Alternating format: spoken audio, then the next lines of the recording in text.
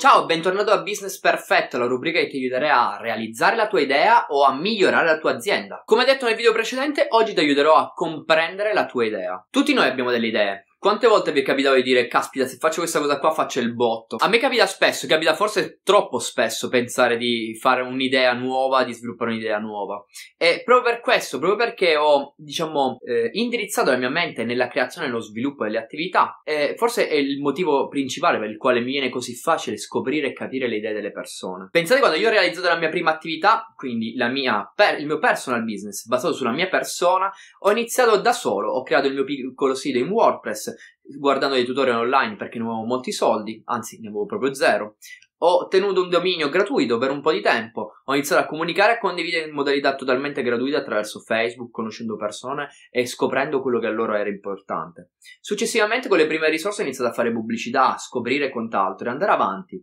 Certamente prima di fare tutto questo processo avevo studiato e continuavo a studiare e continuo a studiare oggi, perché non pensare di realizzare un'attività significa non studiare. In realtà, e come ho detto nei video precedenti, realizzare un'attività significa fare un viaggio dentro se stessi. Fare un viaggio perché la mattina quando fai una un'attività che è tua, devi essere tu quello motivato a svegliarti e andare a lavorare, perché nessuno te lo dirà. Non hai un obbligo di orario, non hai un cartellino da timbrare, ma hai soltanto un sogno nel cassetto che vuoi realizzare. E allora, per aiutarti a capire la tua idea, come ho detto nel, vi- nel primo video, devi iniziare a farti delle domande importanti, scoprire chi sei, cosa vuoi, perché lo fai. Ti aiuterà a sviluppare quella idea in un modo totalmente laterale.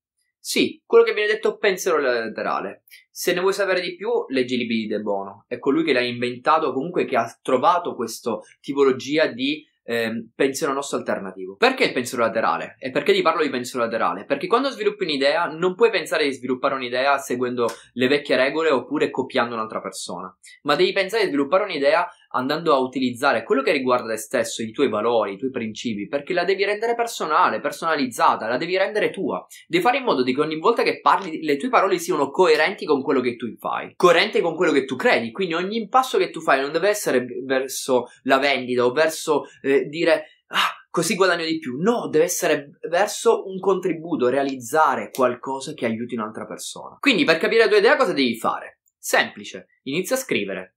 Scrivi, non utilizzare niente che sia digitale, perché anche se la tecnologia ci può aiutare, per un unico modo per portare fuori tutto ciò che abbiamo dentro è utilizzare uno strumento molto semplice, scrivere, trasformare, trasferire quello che abbiamo nella nostra mente fuori. È quello che devi fare. Inizia a scrivere, scrivi di te, scrivi cosa vuoi, scrivi cosa desideri, scrivi come deve essere la tua idea, disegnala, disegna quello che vuoi vedere. Quindi, se ben capito, per realizzare la tua idea, quello che devi fare è fare un viaggio dentro di te e estrapolare tutto quello che hai in mente riguardo alla tua idea. Ricordati questo, nulla nasce nel niente se prima non l'hai immaginato. Ci vediamo nel prossimo video dove spiegherò cosa non fare. Un video molto speciale dove ti parlerò di quali sono i più grandi errori e quello che di solito mi capita e mi tocca di aggiustare nelle aziende che sono già create. A presto, ciao!